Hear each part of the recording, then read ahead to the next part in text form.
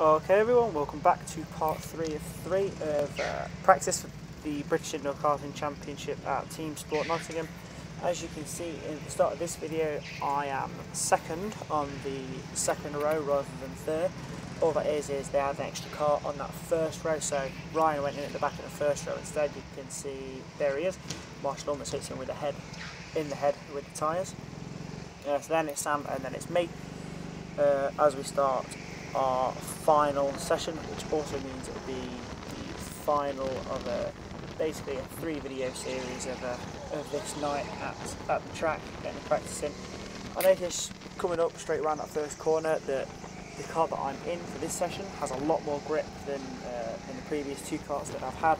So uh, that puts me in high hopes to, uh, to, to reach my goal uh, at the time, which was a sub 36 second lap or 36 seconds flat, which is what I was going for.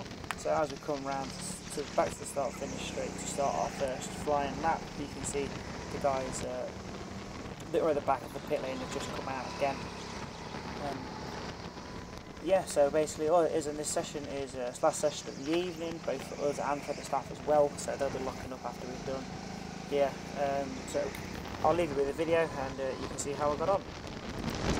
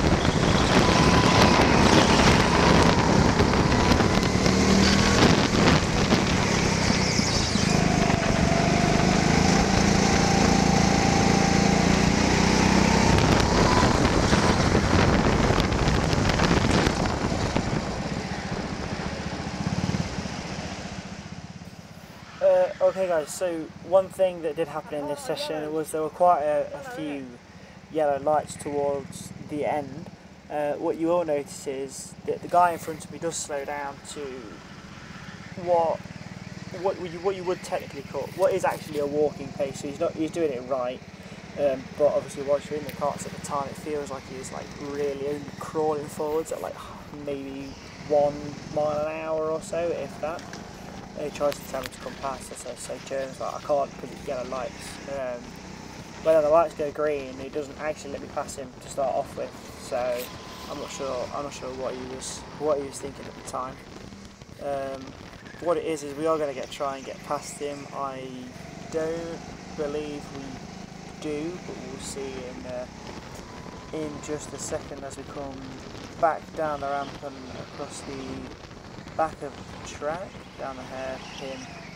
And the yellow light should come back pretty much any second. I think it, it, it might have been as we came back the uh, up back, up the back straight, up the main straight and around the corner.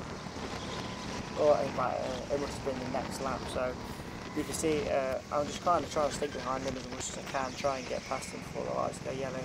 He slips off a little bit there, which means I take the corner a bit tighter, slows you down uh, for going for going up the ramp, which isn't isn't what you want. You don't want that at all.